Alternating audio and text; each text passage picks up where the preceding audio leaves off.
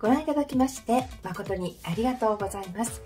候補者様にお役に立つ様々な心理学をご紹介させていただいておりますが今回は自我防衛規制の中の消化についてご紹介をさせていただきたいと思います。お急ぎの方は私の著作でございます。10秒で必ず印象づける人になるこちらの方をご利用ください。また雪吉美智子話し方マンツーマンレッスンなども開催をしております。Zoom でも可能ですので守秘義務はお守りいたします。どうぞホームページの方からご利用ください。さあそれでは自我防衛規制の超過についてご紹介をさせていただきましょう。非社会的な欲求を社会的に高く評価されるものに置き換えて表出されること。例えば性欲や攻撃感情をスポーツで発散をさせる。気持ちを芸術にぶつける。などですね。自我防衛規制の中でも極めて健康的なものです。しかしデメリットもあるんです。消化は、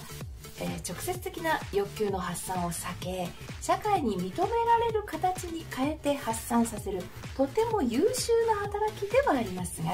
欲求へ向かっているエネルギーが大きければ大きいほど他の対象に欲求を向けることが難しくなりますので消化はなかなか起こりません。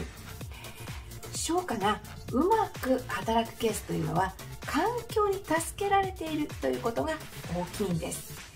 消化させようとしてもうまく運ばないと抑圧したり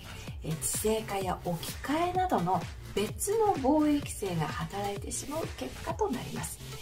消化により性的攻撃的な衝動欲求をスポーツや仕事に向けたとしてもスポーツや仕事で思うような成果が出せなかったりして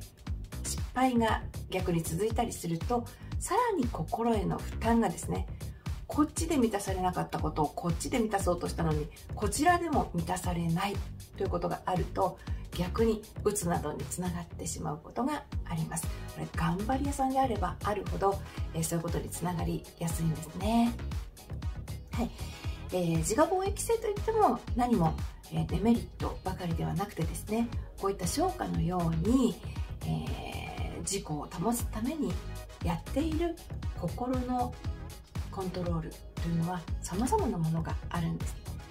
心の無意識のコントロールというものは様々な種類があるんですね。こうかもしれない。今の自分はもしかしてこういう状況かもしれないということを、まあ、冷静に把握するためにまたできるだけその時の感情というものをしっかりと感じてみるためにそこから逃げるのではなくてその感情を怖がらずに感じてみるために、えー、ぜひとも自我防衛規制というのをご参考になさってみてください。今回は消化をお届けいたしました。ご覧いただきまして誠にありがとうございます、えー、日々あらゆる世代あらゆる問題をしっかりと伺わなければいけない重責かと思いますが今日も元気いっぱい頑張ってください。ありがとうございました。いってらっしゃい。